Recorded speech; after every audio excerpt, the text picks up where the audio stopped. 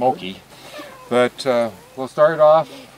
We had uh, six whippets, and uh, number five whippet was Vigo.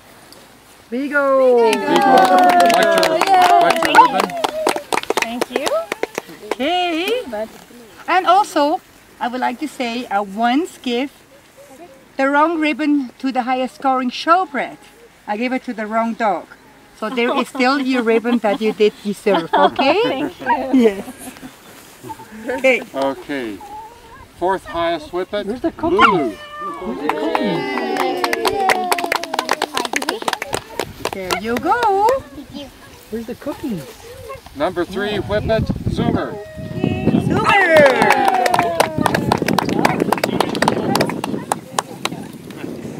Oh, we just wanted to go and rest. Thank you. Okay. Oh, now, Number two whippet, Bones. Oh! Go, Bones. There you go. And the winner today, Wiley. Somebody has to come. Miley, look for you. Thank you. Okay. And also highest scoring show bred for today goes to Bones. Okay. We were uh, pleased to have a single chase.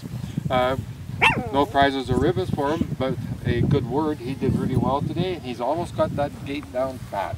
He's getting close. Awesome. Good job. We were great to have uh, two very cute IG Italian Greyhound puppies. Uh, this was their first run on the, on the lure. They both did really well. Um, the one race, the second race, the, they uh, finished, and the winner of that pair was Luca. So our number one It's Luca. Italian Greyhound puppy is Luca.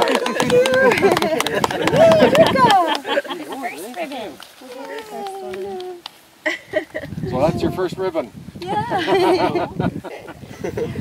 okay. Anyway, I also would like to announce, I hope we will see you and many more for our next race, which is September 10th. It's the Western Canadian Classic. Great prizes to be had. Definitely worthwhile coming. Not just because of the prizes, it will be great running. So we'll hope to see you all there. And it was a great day. We enjoyed it. Thank you. Thank you, Rita. Thank you.